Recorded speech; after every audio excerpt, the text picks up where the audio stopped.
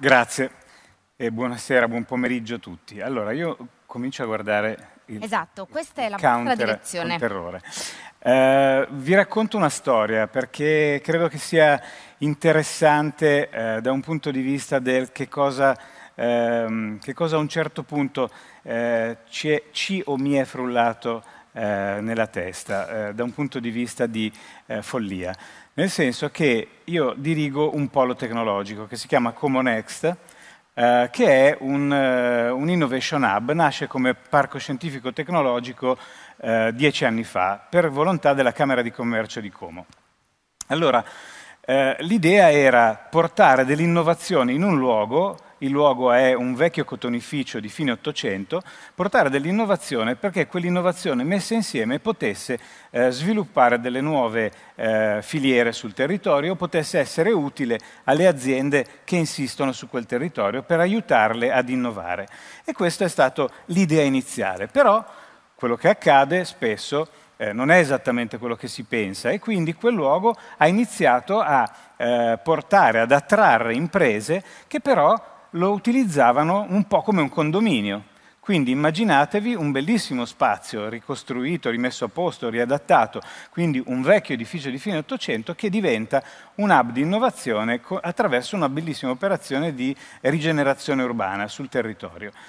Eh, il problema però qual era? È che se le aziende utilizzano quel luogo come un condominio, arrivano, si insediano, hanno i loro uffici, i loro spazi, i loro laboratori, entrano la mattina, fanno quello che devono fare, escono la sera chiudendosi la porta dietro alle spalle e quindi non riescono a fare eh, cose insieme e non riescono a essere utili al territorio, non riescono a creare del valore, del valore diffuso e condiviso.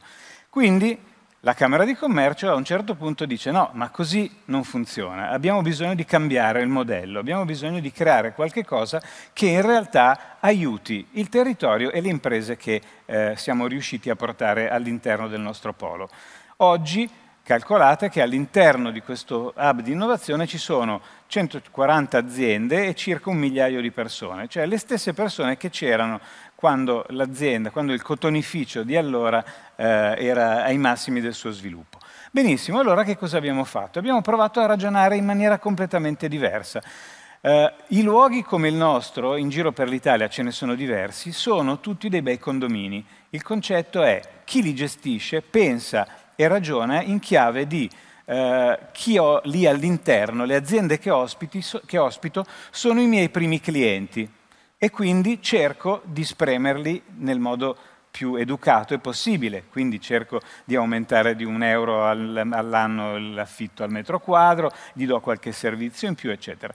Noi abbiamo provato a fare una cosa diversa, abbiamo detto, ma se invece di considerarli i nostri primi clienti, li consideriamo i nostri primi fornitori, possiamo rivolgerci al mondo esterno dicendo, caspita, noi abbiamo una marea di competenze all'interno, le- siamo in grado di metterle insieme, siamo in grado di costruire dei gruppi di consulenza ad assetto variabile, andando a prendere ogni volta che serve la competenza dell'azienda A, B, C, mettendole insieme e lavorando per aziende esterne meno eh, innovative.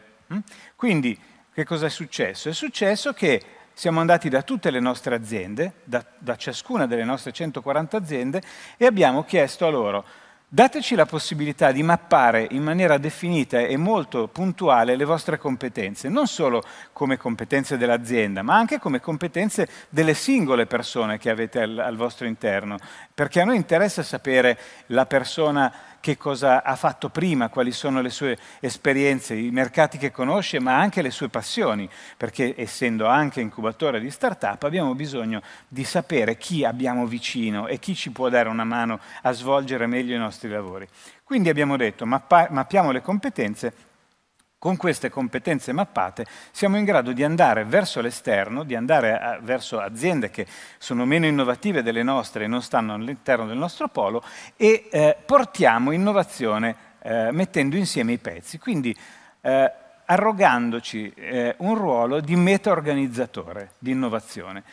Ora, fare questa cosa in un paese come il nostro, che è fatto di campanili, è un paese fatto di incapacità di fare sistema, endemica, non è facilissimo. Quindi per questo dico che abbiamo fatto una cosa un po', un po matta.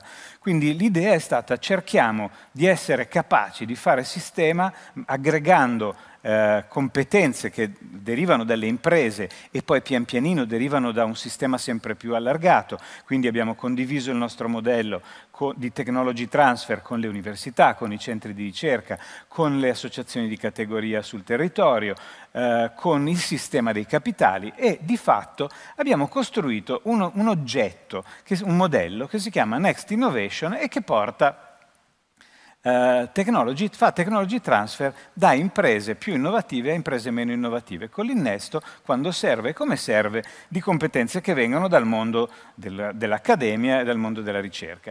Quando abbiamo costruito questa cosa e abbiamo cominciato a vedere che funzionava, quindi funzionava voleva, vuol dire eh, in soldoni che genera delle revenue, che genera delle revenue e genera dei progetti di innovazione che prima non esistevano e oggi esistono in questa modalità qua. Quando abbiamo visto che funzionava, lo abbiamo raccontato ad altri, siamo andati in giro altri, su altri territori perché l'idea era abbiamo generato una best practice la condividiamo con altri territori, magari piace anche a loro e cominciano a svilupparla anche loro. Eh, quello che è accaduto è stato non che ce l'abbiano copiata, perché i nostri soci comaschi mi dicevano guarda attento perché se la vai a raccontare la copiano. Io dicevo beh forse è buono che la copino perché se è un meccanismo per mettere insieme competenze più ne mettiamo insieme più. Eh, però insomma a questo punto siamo andati a raccontarla e quello che è accaduto è stato dal mio punto di vista abbastanza straordinario. Quindi altri territori eh, ci hanno detto bellissimo questo progetto, ci piace da matti, eh, vorremmo farlo anche noi ma non lo facciamo da soli, venite a farlo con noi.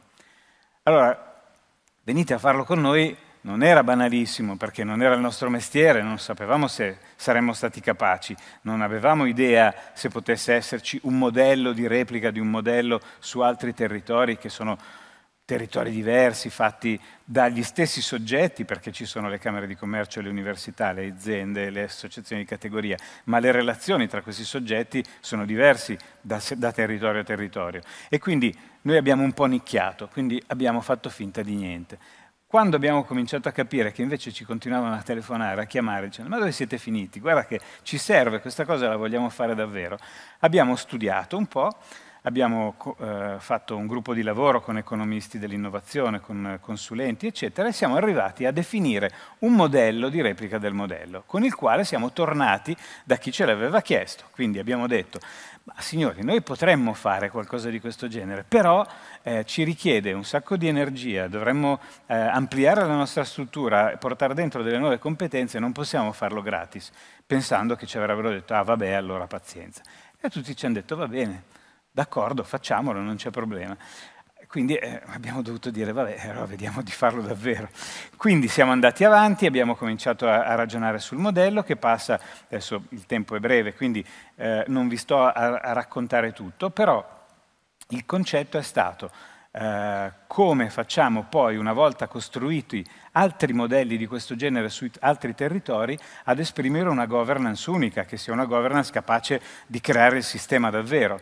E questo è quello su cui abbiamo lavorato, ovvero abbiamo costituito una nuova società nella quale il nostro hub non è socio, non c'entra nulla, se non perché è stato quello che ha dato il modello, una nuova società che è un progetto industriale che si chiama Sinext, che ha come obiettivo la costruzione di 11 poli nei prossimi sette anni, 11 poli di innovazione in, nel nostro paese e un primo polo all'estero, con, ehm, con l'obiettivo di portare questo modello di technology transfer un po' particolare, un po' innovativo, eh, in giro per il paese. Quindi immaginatevi domani che cosa vorrà dire avere non più 150 aziende e 1000 persone come abbiamo noi oggi, ma avere 1500 aziende in Italia e 15.000 persone capaci di utilizzare lo stesso modello per mettersi insieme e fare innovazione. Questo è il progetto. Abbiamo 25 secondi e vi dico perché sono qui, anche perché all'interno di Sinext, quindi di questo nuovo progetto eh, imprenditoriale privato, eh, che ha lo scopo e l'obiettivo di portare un nuovo sistema di innovazione nel paese, ci siamo incontrati con Retelit, con eh, il signore con cui, eh, di cui avete sentito lo speech prima, quindi l'amministratore delegato, e quando abbiamo raccontato questo progetto ha detto questo è il modo di fare sistema, di mettersi insieme e di unire le forze per fare qualcosa di un po' più alto. Questo è quello che vogliamo fare, lo abbiamo appena iniziato e ehm, una, una chicca di, di dell'ultima, dell'ultima ora, uno dei poli, quindi non, eh, non, il dodicesimo in Italia, ma sarà, quello, ma sarà quello ulteriore, sarà nel metaverso. Ma non vi dico altro perché poi avremo qualcuno dei nostri eh, speaker che ci parlerà del metaverso. Uno dei poli di Sinext, non lo sai neanche tu Federico, uno dei poli, il nuovo e l'ultimo, quello più moderno, diciamo, sarà nel metaverso. Grazie a tutti. Grazie. Grazie a